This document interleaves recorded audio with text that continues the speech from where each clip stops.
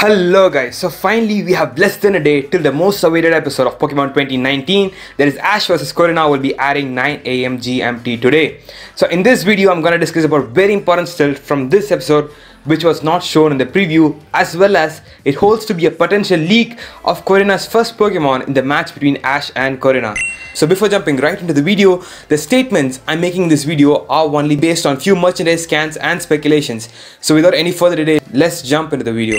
Well guys, so we all know that Mega Lucario is Korrina's ace Pokemon. So it's obvious that Korrina's first Pokemon will definitely not be Mega Lucario. So now the question arises to which Pokemon will Ash's Gengar defeat? In other words, which Pokemon will be Korrina's first Pokemon? So as of now, we know that Korrina has two other Pokemons other than Lucario in hand that is Mienfoo and Machoke. Out of these two Pokemons, Machoke very recently has been making a lot of appearances in the merchandise scans which hints its potential return in this particular episode.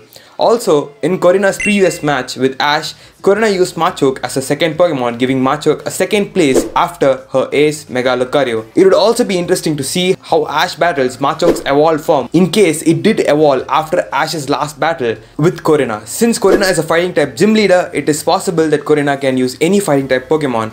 Moreover, the voice actor list of this episode does not reveal Korrina's first Pokemon just like the XY series where the voice actor of Korrina's Machoke and Mienfoo are unavailable. So when this particular still came up, the intensity of Ash getting a potential Mega Lucario did increase to a huge extent in the Pokemon community. So this pic shows Korrina kinda patting Ash's Riolu and saying something to it. Also, there's a fair chance that Ash might get a keystone as a winner of the Battle Festival. But here is the catch. Well, we all know that this Battle Festival is directly associated with the Pokemon World Championships. So, if that is the case, there can be no actual winner.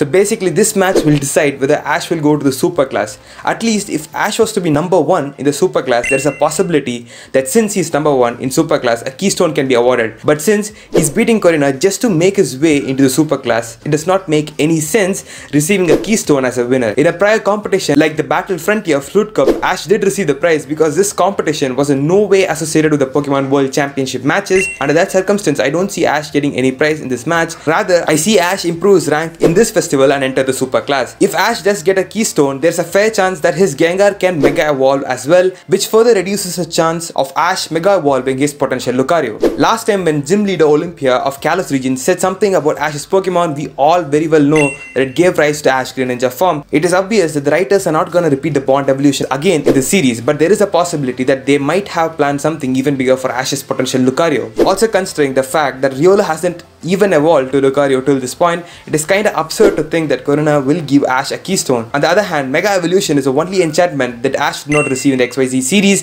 when you compare with Sun and Moon and Sword and Shield series where he got the Z-move and Dynamax band respectively. Also, through this way, they could actually promote Mega Evolution meta update that is yet to come in Pokemon Go as announced in a special Wednesday stream from the Pokemon Company. That is it for today guys. If you guys like the video, leave a like and hit that subscribe button. Thank you guys. Until next time, see ya. Peace.